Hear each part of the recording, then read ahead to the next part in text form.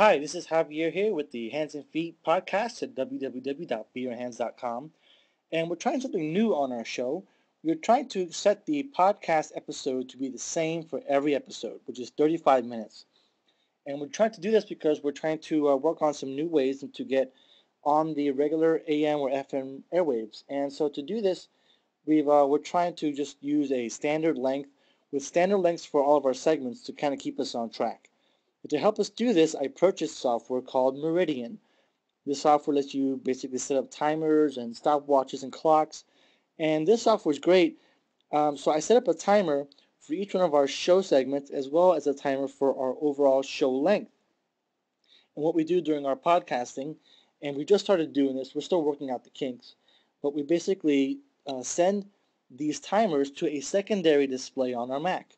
And that secondary display um, is seen by all the podcasters and anyone else who's in the room so that they know how much time is left in the segment and the overall show.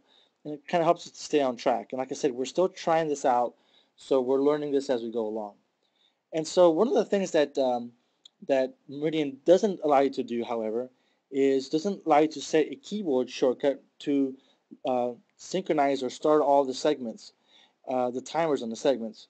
And so to get around this, what I've done is I've written some AppleScript that will basically automate the, the mouse or simulate the, the mouse clicks on the, the timer windows to run whenever I tell them to run.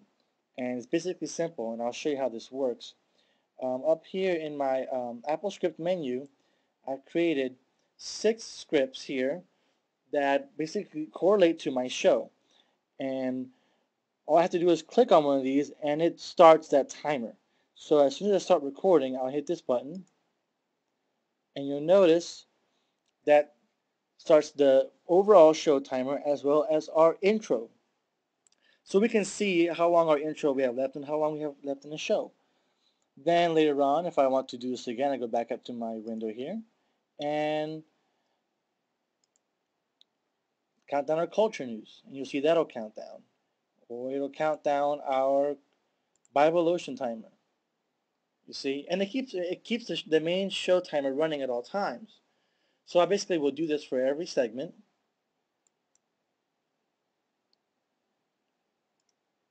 All depends on where we are at. And it'll let me basically stay on track with our recording and allow us to um, to get the show done in 35 minutes or less. So that's what we've come up with. We're going to be trying this on some upcoming episodes. And the next thing I'm looking for is to figure out a way to determine if the timers are already running. So if we accidentally click the same timer, it won't stop it. Also looking for ways to automate this out of Ubercaster, which is our, our recording tool for our podcast. So that's our that's our timer system, and uh, I'm going to be posting the the scripts to the AppleScript on our website at www.beyourhands.com. They'll be uh, listed under the, um, the podcasting tools category. And uh, if you use them, great. If you improve them, let us know. And uh, if you have other ideas to help uh, you in your podcasting, we'd be glad to hear it. Thanks a lot. God bless, and we'll see you soon.